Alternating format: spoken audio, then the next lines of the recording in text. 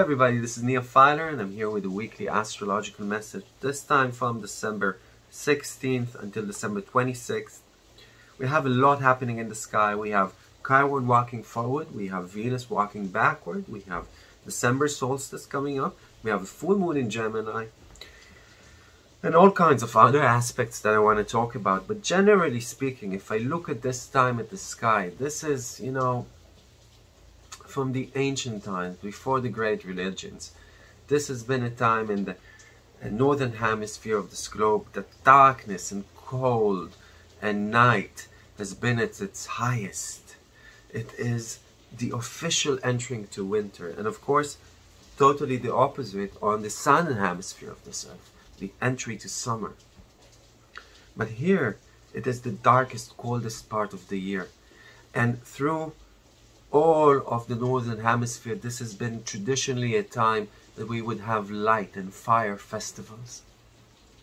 And I'm talking about the origin of Halloween, and I'm talking about the origin of Hanukkah, and I'm talking about the origin of Christmas.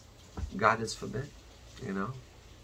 All of these holidays were connected to the seasonal occurrences on earth and the need to ignite the light of fire and love and belief and hope at this time of darkness, this most of introspective, inward drawing times.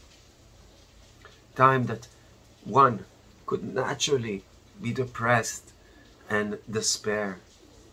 And you know, one of my Bibles, earlier Bibles, in, in my high school was John Ronald Reuel Tolkien's Lord of the Rings. And you could learn a lot about the true affairs of men from the fairy tale of Tolkien. And I remember Gandalf going through the ranks, driving through the different lands on his fable horse, seeding hope and light and courage through the ranks as humanity understood, as the races understood the amount of darkness that amassed on their borders. And remembers for those, remember for those of you who know Tolkien, what happened to those who gave in to the darkness and despair and hopelessness that it promised. This is a time to ignite the fire of love and hope in our lives in ourselves. And definitely a very introspective, psychological, therapeutic time for us all. the time that we need to understand that if we do not take our own sword, our own shield, our own love, nobody promises, nobody promises that things could actually get better. It is up to us Let's. I want to. I want to share a, an image with you. So indeed, we came too early to explore the stars, and maybe too late to explore Earth, but just in time to save it. It is on our shoulders. There is no one else. We are the heroes that we have been waiting for. That the world has been waiting for. We have been chosen. And indeed, that light is now being ignited through love and compassion the highest forms of humanity all throughout human society. Look how much we've evolved through the turbulations of COVID and everything that ensued from it. Look how different the society of men and women is from where we were in 2019. How much more we understand, and indeed, how our burden became heavier with that understanding. Nevertheless, we are the knights of light. We are the wizards. Go spread hope through the ranks. Go spread love through the ranks. Because your actions are needed. So that's like an encompassment of, you know, like I try to encompass everything that is happening in the sky, but let's go through the days. The 16th, very creative, great to do things together. I mean, one and one are three. It's an amazing time for new collaborances and you know partnerships and relationships and definitely as Venus is conjunct to Pluto at this time and goes through its retrograde and will be conjunct Pluto again as it goes out of its retrograde shadow in March. So this is something that is going to be here in waves throughout this retrograde in Capricorn. But Venus is already at its uh, 26th degree of Capricorn. It's its retrograde degree. It's already stationary and it's entering its retrograde on the 19th. And it's conjunct Pluto all of this time. So definitely there is a transformation and an introspective approach towards what it is that makes us value ourselves. Our self-esteem is drawn by what? And is that grocery list of ingredients of what makes us respect ourselves true and deep and as authentic as it can be? What is it that we bring to the table in sense of value? What is it that we can offer others in our relationships? The relationship with our most intimate partner, first of all, but any relationship generally. And how do we draw in value and money into our lives? All of these are subject to turbulation, transmutation, and change throughout this time. This is not a time for power struggles, although they can ensue. This is not a time to be total or obsessive about things.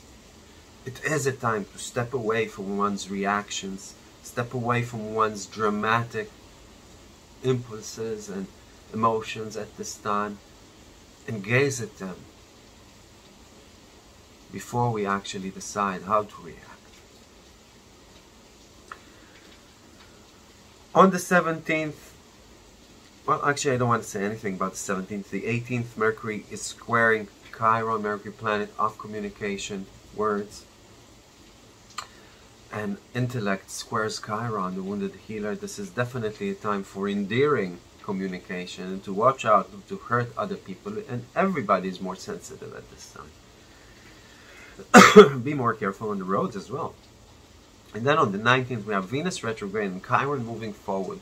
We have this uh, feeling as Chiron moves forward and it trines Mars next week that really we could better address, we ourselves could better address our own wounds, our own deficiencies, our own handicapped parts, and our personalities that are there due to our personal experiences. I mean, we're all flawed. But like a record, you know, where we are scratched is where the music is. And we're not our scratches, we're what grew out of them. So, be good gardeners regarding that. And as John Ra Ronald Reuel Tolkien used to say, we cannot, you know, control the circumstances that life throws before us only how we choose to react to them. The part we choose to take in that scenario.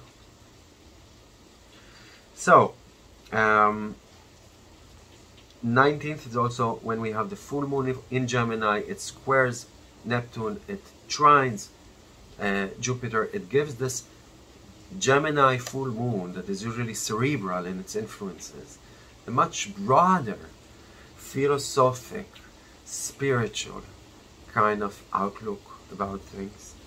And it's definitely a time that we could have epiphanies, that we could have new ideas, that we are asked to step outside the box and look at things in a new way and update our thoughts, update our ideas as Mercury trines Uranus exactly on the 20th. And then on the 21st, we have December solstice. Sun enters Capricorn. it is an intense day. It is an intense day emotionally, but definitely it could be an amazing day to go through things together, intimately, sexually, or you know, just heighten and deepen friendships. And definitely with this Venus retrograde, and I want to talk about in Capricorn in a minute, and, and, and the fact that the Pluto conjunction is part of this retrograde cycle, and so is a sextile to Neptune that is going to happen us. Um, gives it a much more introspective and a much more um, compassionate approach to things. I mean, we could definitely change things for the better regarding how we value ourselves and how we approach money and how we approach relationships and who we are and who we bring into that table of relationships in our lives. But it could be a time that, you know, people either go through this together or go against each other. And my advice to you is go through this together. Deepen your connections at this time. Um, and then on the 22nd, you know, we are approaching another square uh, between Saturn and Uranus. But I, am heading too fast. I want to talk about this um, retrograde in, in, in Capricorn. I mean, every time there's a Venus retrograde, it's a time of revolution and maybe a restart to everything that Venus represents in our lives. Being a Taurus, I don't like that. I want stability in everything concerning beauty and aesthetics and value and relationships in my life. so I'm a bit averse to a Venus retrograde. Don't learn from me because this could be a time for a positive change, for a needed change. And the mantra here is whatever will be is better than what is, or what was in this case. Tolerance is asked for because when the phoenix combusts into ashes and is reborn, it takes time for its flames to reach the highest brightness again. It's a cycle of death and rebirth for Venus in a sense. Um, not a time to ask for stability in these senses as well. So the fact that it's in Capricorn throws us to the land of career, of the work environment, the work market, and how it is we deal with the systems and laws and regulations and reality as it is, the sowness of things not how we wished it would be, but just how it is. And it gives us a feeling that we need to cope and you know strengthen ourselves and man up and and take the burden with a high chin and walk forward. You know, be an adult about it, be mature about things, and responsible about things. But it doesn't mean that we feel that we want to do these things. We feel we are needed to do these things are asked to do these things, in a sense. And as we're heading to the 22nd, we could already very much feel the uh, square between Uranus, planet of upgrade and change, and Saturn, the planet of laws and reality. And you know, if we look at humanity as a pack of wolves, you know, it is Capricorn, Saturn, organizations and laws and regulations and the work market and the economical system and governments that are the slowest wolf. And we progress in the pace of the slowest wolf around. So we feel on the one hand that there's all these laws that need to be upgraded. There's all these regulations that need to be upgraded because whatever is doesn't cut it anymore. It's not relevant anymore reality has changed. And it's changing and you know, breathtaking pace. And we need to adapt. We feel that we need to adapt.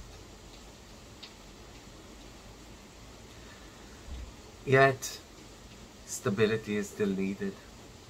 We still need to deal with this reality, with that regulations, with this system that is the slowest wolf, that is you know, of, of, of dire need of an update. We understand that we live already in a much more updated society that can handle things much better than it does. Yet we still have to deal with the delinquencies of the present system because we need to put a roof up above our heads and food on our tables. We're still slaves to the old system and we can definitely feel it by the 22nd as the moon joins that square between uh, uh, Saturn and Uranus and T squares them. Um, and at the 24th, when this square is at its exact degree. The 25th, we have Mars trining Chiron exactly. This is the therapeutic understanding that it is up to us to change things. It is up to us to heal ourselves and heal our societies and heal our surroundings. It is also the day that Venus and uh, Pluto are exactly conjunct again. On the 26th, Mercury sextiles Neptune. So if you need inspiration, if you need to connect to Goddess, if you need to, you know, um, have inspiration and, and, and creativity, it's an amazing day for that. So this is about everything for private readings, for courses and private lessons. All the details are at the screen at the end. I want to thank you for sharing this. I want to thank you for commenting on this. This is Nia Fyler. May we all live long and prosper. Bye bye.